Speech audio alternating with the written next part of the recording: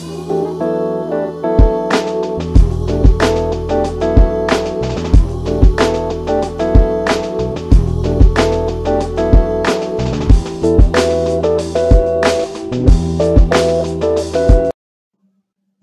people. Welcome to the latest episode of Rough Draft. I am your host, Kevin Alberto Sabio. And in this episode, I'll be talking about lyrical content, lyrical breakdown, part two.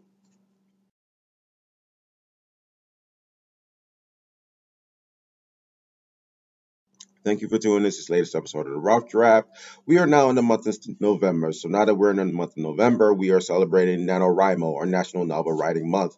So for established authors or aspiring authors, uh, it, you usually take the entire month of November to uh, write, write at least the first draft of an entire novel. So it's uh, what, all 30 days of the month? Um, I have never personally participated in NaNoWriMo. I just don't like being in that type of condensed environment. But for those of you who do want to participate in NaNoWriMo, hey, good luck. also in the month of November, um, oh, it's the author publishing anniversary of my second book, um, Your Brown Black Fist 2. This was published back in 2011, so it is now celebrating 12 years of being published. So wow, so it's it's basically a, almost a preteen. so it's uh you, you know what I'm saying I'm very proud of that particular project. Uh, it's been out there on the market. It's been published through Outskirts Press. So um when you get a chance, please um please please order it, buy a copy, read it, definitely write a review about it. You say spread it to your peoples, everything. So um getting back to uh part two of lyric, lyrically speaking uh lyrical content lyrical breakdown so um for those of you who missed the last episode um back in the day, I actually kind of wanted to be known as a music artist. And so um, I wrote a number of different songs, and they actually span three of my books. Um, as you can see, the book covers right here. So it's um, Your Brown Black Fist 2, um, in my lifetime, and also in my poetry book, um, Spitting Lyrics and Waxing Poetic. So a number of my songs are all up in there. So it's a total of 13 um, songs. Continuing on with that, uh, I do remember uh, last episode, I was talking to you about one particular song called um, SPIC, or Spanish People in Control. It was an acronym, S-P-I-C. I do believe I only did uh, one version of the song. I remember I said that there were two. I think I had only performed one for you guys. And so um, I also wanted to show what I was doing lyrically in that particular song because um, that one uh, the second version of Spanish People in Control is actually supposed to be what I would be called a collab. So it's supposed to be me and several other artists. So um, okay, here it goes. Boom, boom, boom, boom, boom. Well, it don't matter. Rodriguez kind or whatever. We just got to seize to one and we got to stick together, son. Watch our backs. We got to watch out for these races because you know they're all around us wearing too many faces. They hate this. They see us all around and get scared. And they're always talking shit when dirty laundry gets aired. They say we're all the same and then they say it's shit and then they show the true faces and try to feed out some bullshit. Won't take this anymore. You want to act movie mouse? Come get in my face. I kick your ass with my spot. SPIC, the Spanish people in control. My main goal, this ain't how I live in, this how my squad rolls. Raiding our countries, looting the land just like a felon. But when to speak my own language, you want to do Prop 187, listen here. That disrespectful bullshit ain't how we go. Some punk ass honky this my people on the radio. That's showing respect for any person that had died. And then I would be wrong to beat the shit out you high. The times for tongues is reminiscent and dismissing some. It's time to get punks like Howard Stern and ass whipping. Selena! The Aboriginals suffered massive genocide. Now we suffer tales of our lives that are falsified. Unbelievable myths of our nature nationwide, and some are proven truth by being out there on the homicide. You have some out there full of miseducation and commit assassinations just to gain a reputation. You see, the picture is much broader than the brush, and yes, you do have some ills, but you commit to judgments, judgments that rush. I'm kicking knowledge. I'm kicking knowledge just so all you would know, son, that that's how we roll with Spanish people in control.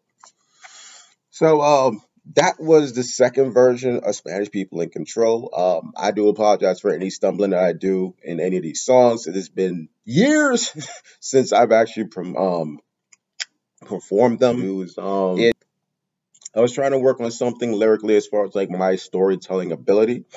And so um, one of the songs for me was a song that I did. It's in um, in my lifetime. It's called Showing Skills. Uh, that particular song was just basically that was supposed to be another collabo Uh, so it's supposed to be me, a bunch of different other rappers, just like really spitting it and just like showing what we could do lyrically. And that song was actually inspired by Lin Que's "Let It Fall" because one, she's just she's just an ill lyricist. you know what I'm saying? Number two, just like the, the beat for the song was just like it was crazy. So it's just like um you're getting drowsy. I think you're sleeping. Kick my rhymes in Spanish language, but I'm not a Rican. The I'm seeking is the title for the best. I stress and I'm gonna reach my goals without no test. And now I tell it to the rest. You're garbage, you're corny, you kick the same rhymes every other nigga told me. You never original, you just a fucked up individual. You know money talks, you're just an industry's residual, cause you're factory made, capital paid, your rhymes charade, bitch nigga. And it's the music and the culture you betray the rhymeness, the gruffness. You're doing it for the ducats. And as long as it pans out, you want to get mad buckets. Lyrically loose, I guess, rolling like a fan bait. I'm shining on a cascade. I'm flyer than that group J. I got my rhymes, but I'm not a freestyle fanatic, but I'm bound to get you hooked like drugs to an addict. I see his whackness like a shaman sees dreams. My name is K as short for knowledge as supreme. I kick intelligence y muy support como mi gente. If you don't like and then pendejo 20. I'm representing for the president. I'm setting the props. I'm getting the other rhymes that I'm wrecking. I get you preaching like a priest about the book. My rhymes are streaming so say it gets flowing like a brook. Flow so delicious. My following is religious. Another rap is so fictitious that it makes you suspicious. It's so ridiculous. The state of hip hop today, MCs have nothing to say and creativity has gone away. So let it fall of those who want to feel my non factor. Ayo, can I get down and blow the spot like a reactor? Best in Houdini. It all comes down to the money. These real suckers are funny. It all comes down to being scummy. and then the chorus is like, we showing skills on them. We showing skills on them. We showing skills on them. We showing skills on them. Wrecking all of them. Wrecking all of them. So that was showing skills, showing my storytelling skill set. And uh, it's a particular song that's actually in spitting with lyrics and waxing poetic. It's called Lords Under the Gun. And so with that particular track, um, it was heavily inspired by um Kool G Rap's um Ill Street Blues because it's the beat is sick, and then his flow over the track is just like it's it's uh, you know say it's to me it's phenomenal. Like I like it. Like that was a really really dope song to me. Just like his storytelling capacity and whatnot, and just like the beat that he used, it was jazzy with piano and you know saying like a little bit of a trumpet. Like that was hot. So for me, um, that's what inspired me to do Laws Under the Gun. Mm, mm. My little homie in the hood, he's having his problems. He's not a rough survivor, he needs a way to solve. He's always getting his ass kicked by the local dealer. My shorty wants no beef, he's just a kid living in fear. Then he went one day that he don't play that. The, the dealer code fucked him up and ended it with a pimp slap. He's fucking him up every day and he always had a set. One day he beat my shorty's girl and then he had his boy wet. My shorty went crazy and you know he lost his mind. He left with some large bills and then he came back with a. My shorty left one night, caught him on the deal, capped his ass 20 times and then he took his deal. Now my shorty's changed because his ass is always cap packing. You never get him heated because he always starts capping. My shorty runs around now living like a gangster, but fuck all the drugs, he'll just cap you, he'll gank but Shorty ain't the only one victim of this. The hood life mentality, it hits you and you don't. Now you need power if you want to squash beef. And have to spell G G-U-N if you want relief. You got problems from the dealers? You got problems from the dealers? You Got problems from the crews. Get your hands on the steel and got not to lose. Yo, it's only the beginning. You know we ain't done. It's part of her life, son. Laws under the gun. So that's the uh the first verse of Laws under the gun. Um, it's only two verses long, really. Um, um, and I guess with this one, I'll probably end with uh, one of my other um songs that's also in in my lifetime. Um, as I said in the last video, uh, um, there are some stuff that's out there that's dedicated to women. Uh, you're saying not everything is all like hardcore. Everything's not all like super militant or what. There's this uh, track that I had written. It's called Lady Lovin'. Um, it was actually inspired by um, uh, Teddy Riley beat. Actually, it was the remix version of Guys Dog Me Out. That's what got me to um kind of write the song because the beat that he did for the remix was just, it, it was it was fire.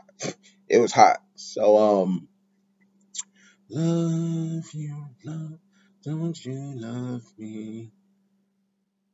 What you doing to me? You're my baby. mm. Say honey dip. Hello, hi, how you doing? It's the fucking during the KS is introducing. I turn around and then you call my eyes. So cute and so pretty. I had to go for mine. I ain't down to kick no lines though. When I kick it to a girl, I gotta kick what my heart knows. I ain't playing ain't down for no games. I'm not looking for a hoe. I ain't out to make a name. I'm more serious because I want a mate. I'm looking for a Rooney, not a one night date. I'm down for loving, not a one night stand. Wanted to be a Max sweating myself like I'm the man. A man of words is of romantic action. I want some all night loving, not some instant satisfaction. I treat you right and I'll take you. I'll tell you all of my meals that you know what I'm about. Tell me now, I want to know something.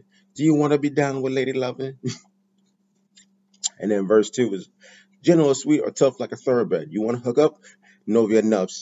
I won't push, I'll wait till you're ready. So when I make love, it's nice, slow, and steady. I tell you things that are straight from but my heart. Love letters and poems, I'll make them a form of art go for walks out in the moonlight, or take her to a club so we can party all night. I'll be yours if you'll be for me. You want to know my full potential? You want to know my full potential? Have to wait and see. Ain't down to cheat or to play. I'm down to treat you right every night and every day. From a man not from hitting or love. From a man not from hitting or running. Principal factor in lady loving. so uh, I hope that you enjoyed a couple of these joints that I recited. Uh, I do apologize for stumbling through them as I had said, it's been a number of decades, not even years, a number of decades since I performed any of these songs. Um, they are in, um, published in at least throughout three of my books. So if you, um, so thank you pretty much for watching this latest episode of Rough Draft. Um, if you like a copy of any of my books, they are available in paperback format. You know where you need to go to get them. Author House, Outskirts Press, Create Space, um, Amazon.com, Barnes and Nobles, and Books a Million.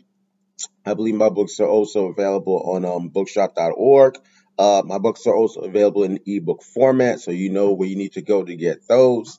Um, they are available through Kindle, Nook, Kobo, Apple Books, uh, Scribd, which is actually changing its name now to Everand, uh, Smashwords, um, and it's also available internationally through uh, Vivlio, Tolino, and Gardner's.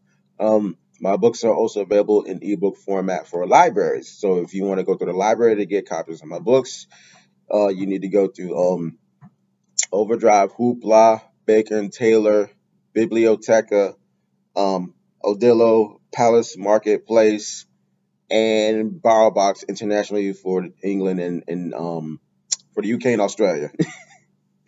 Um, if you are watching this video on YouTube or Vimeo, uh, you know what you need to do. Please like the video. Definitely leave a comment. Let let me know what you think. Uh, definitely press the subscribe button and press the notification button so you can know whenever I, you know, saying do something either in the community section or when I drop the latest video. Um, thank you for watching this video. Like you saying, thank you for hanging with me. Hopefully you enjoyed this. You know how I like to end my videos. Keep the fist raised. I'm always on my literary grind, and I'll talk to you people soon. Thank you so much for your patronage. Hit you up soon. Peace.